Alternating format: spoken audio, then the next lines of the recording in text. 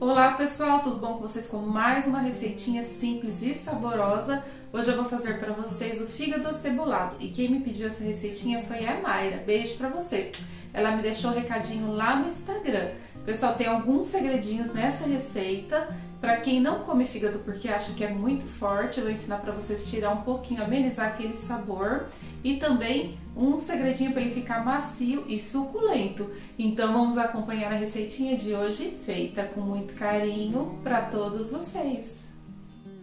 E para a nossa receita aqui eu tenho um quilo de fígado de boi cortado aqui em bifes e o que eu fiz aqui, só passei em água corrente para retirar o excesso de sangue e vou ensinar para vocês a tirar essa membrana. Se você não tirar essa membrana, quando você fritar, o fígado enrola. Agora é só puxar, pessoal, bem facinho, ó. E é com a mão mesmo que a gente puxa, e ele sai super fácil. Vou retirar todas as membranas e já já volto com vocês. Terminei aqui de limpar o fígado, agora vou cortar em tirinhas.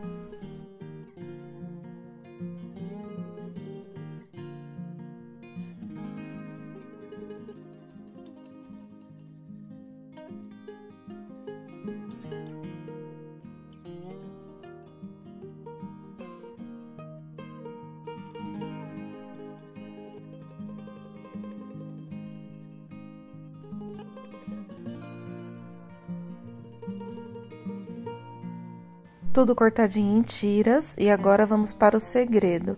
O segredo para amaciar o fígado e tirar o sabor forte é acrescentar 250 ml de leite. Agora vamos dar uma mexidinha e vou deixar de molho na geladeira por 30 minutinhos.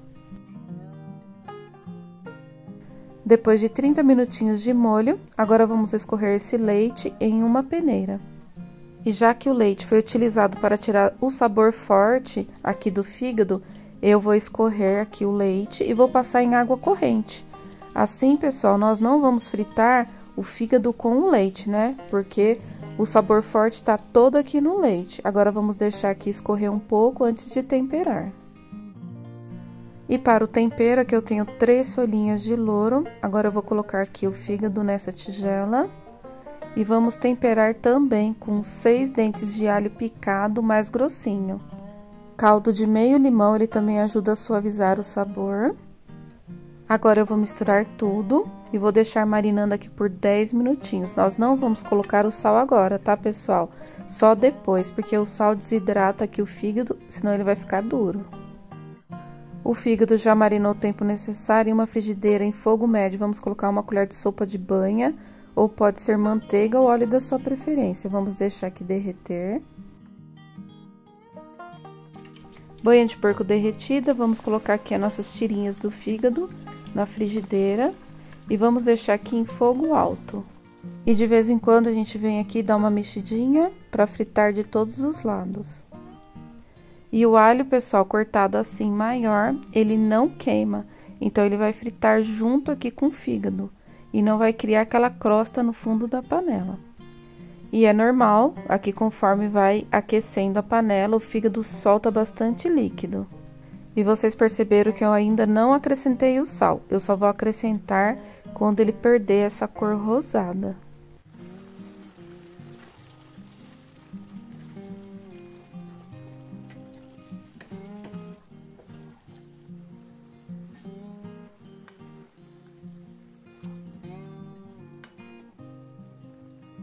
Agora que o fígado perdeu aquela cor rosada, né? Vamos acrescentar uma colher de sobremesa rasa de sal.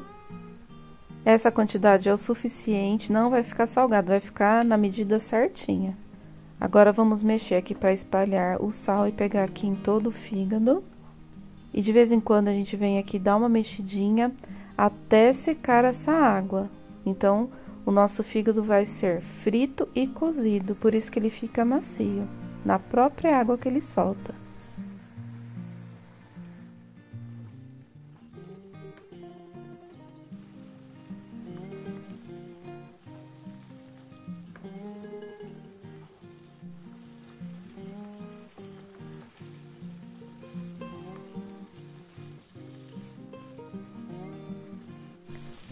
Aqui o líquido já tá quase seco e olha só, o alho continua inteiro.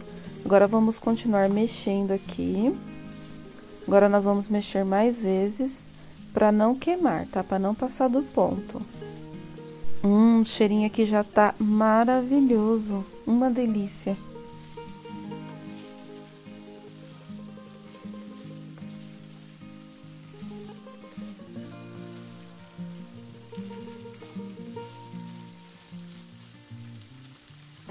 E aqui já chegou no ponto que eu queria. É quando começa a fritar. Aqui, ó, secou toda aquela água e aqui só aparece a gordurinha do início da receita. Agora, vamos mexer. Vou dar aqui uma fritada de um minutinho. Mexendo para fritar de todos os lados.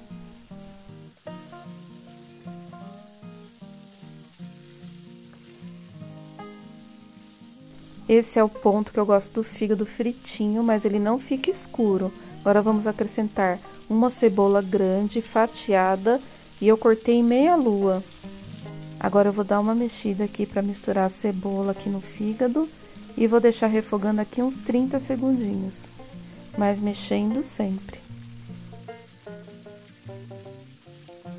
Prontinho, agora eu vou acrescentar um pimentão grande cortado em tirinhas. Vou dar uma refogada também de uns 30 segundinhos. Imagina o cheirinho que tá aqui agora. Cebola e pimentão e o fígado. É tudo de bom, até rimou, né, pessoal? E para deixar bem macio, vou acrescentar 100 ml de água. E de vez em quando também você vem aqui e dá uma mexidinha. Até secar toda essa água.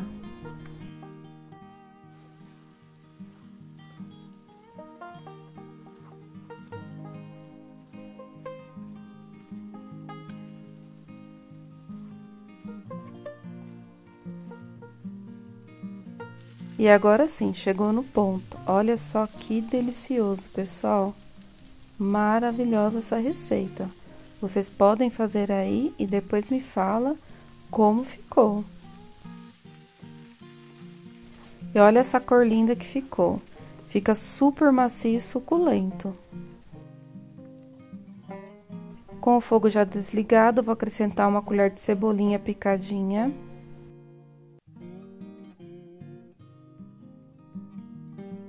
Agora é só misturar tudo e o nosso fígado acebolado está pronto. E se vocês quiserem o pimentão mais al dente, é só não colocar aquela água que nós colocamos. Receita pronta. Agora eu vou servir, vou colocar aqui em um prato.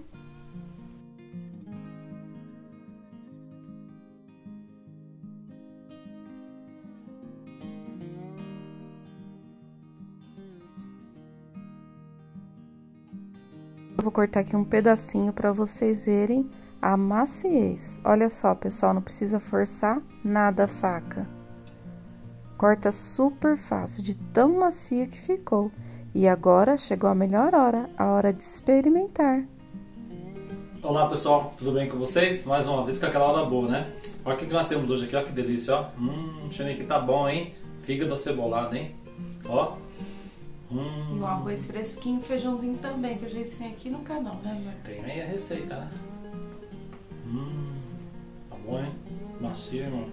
Hum. Fica, né? Parabéns, hein? Bom demais. Pessoal, bom, hein? Hum. Precisa nem de faca pra cortar, né? Muito bom. Hum.